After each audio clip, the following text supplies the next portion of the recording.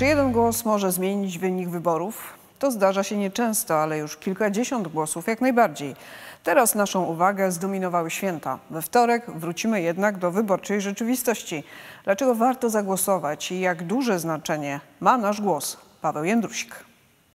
Żeby wziąć udział w wyborach i to nie tylko samorządowych, w zasadzie trzeba spełnić jeden warunek. Głosować mogą osoby pełnoletnie, które mają pełnię praw publicznych i ujęte są w Centralnym Rejestrze Wyborców w stałym obwodzie głosowania na obszarze danej jednostki samorządu terytorialnego.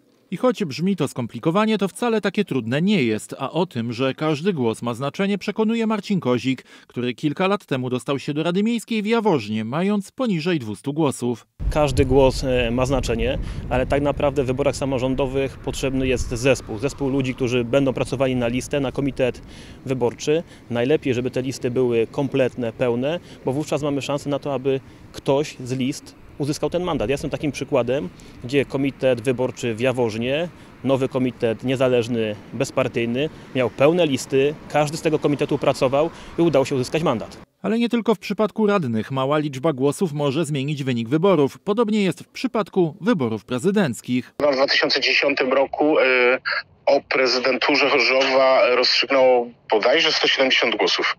Więc to nie tylko na poziomie Rady Miasta. Oczywiście takie przypadki, jeżeli chodzi o wybór e, prezydenta, burmistrza czy wójta są rzadsze.